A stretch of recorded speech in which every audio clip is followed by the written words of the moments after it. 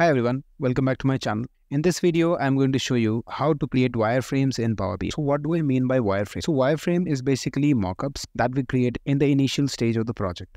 So when you start a new project and you get the requirements from the client, after that, before jumping on to the development of the project, we create Power BI mockup to showcase to the client and if they agree on the mockup design that we created after getting the approvals from the client, then we start the development of the Power BI project. In this video, I'm going to show you how to create Power BI wireframes very quickly. So I will open the Chrome browser and click on Mokkup.ai.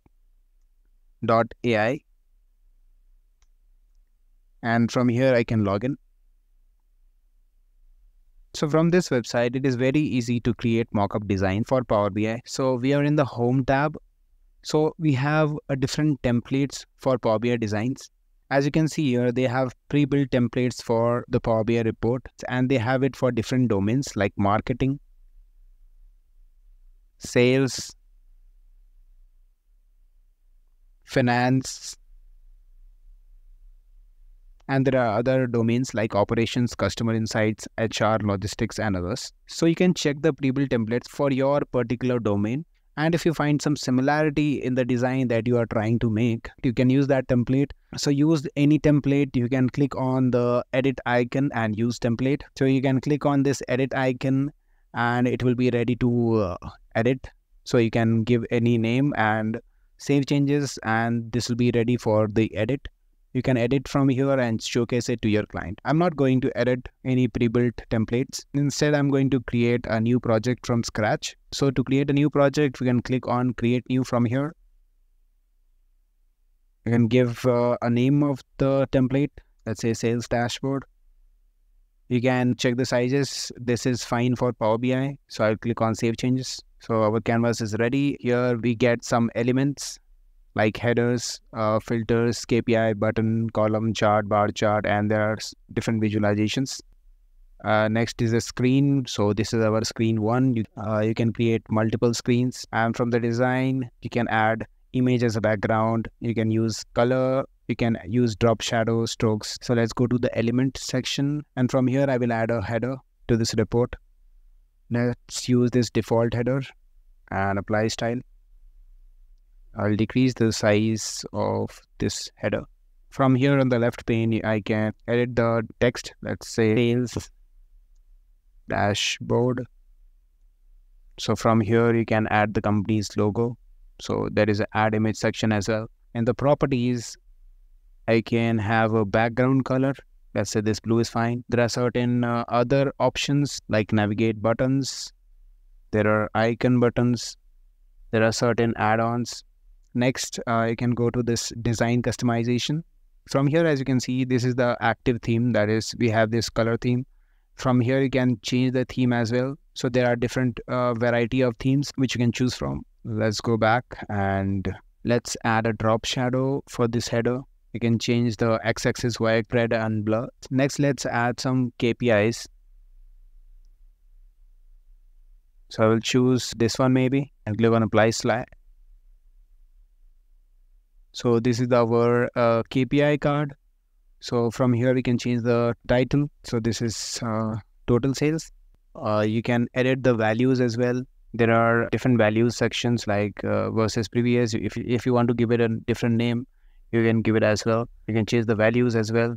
This is uh, the percentage change. From here, uh, we can change the percentage change icon as well. Go to this design and let's add rounded corners so I will add 4 as a rounded corner and enable the drop shadow. You can also choose strokes to add a stroke, but here I don't want. Next, I will duplicate this one and again duplicate. Let's add uh, three KPIs. So this one is say for sales and this one is for total profit and this one may be for total units. Next, I want to add some slices uh, I will click on filter option.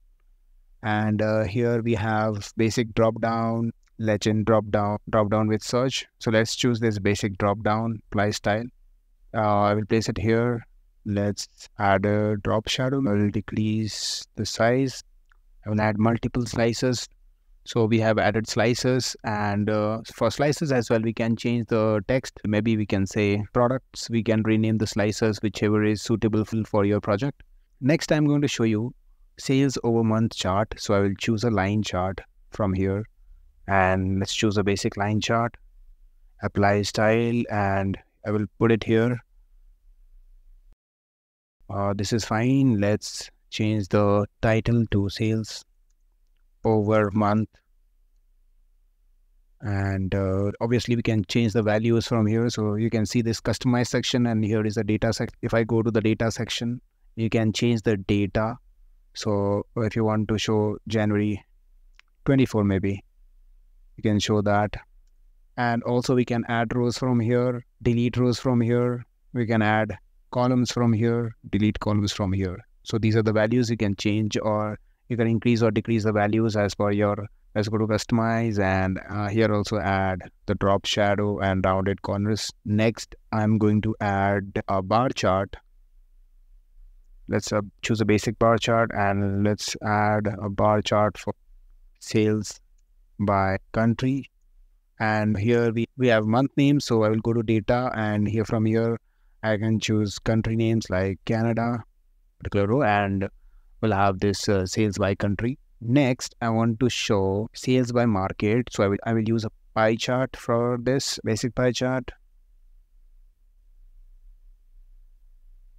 We can also change the data. I'm not going to change it. You can change it. Next, let's add sales by product. So I will use a tree map for this. So let's use this tree map.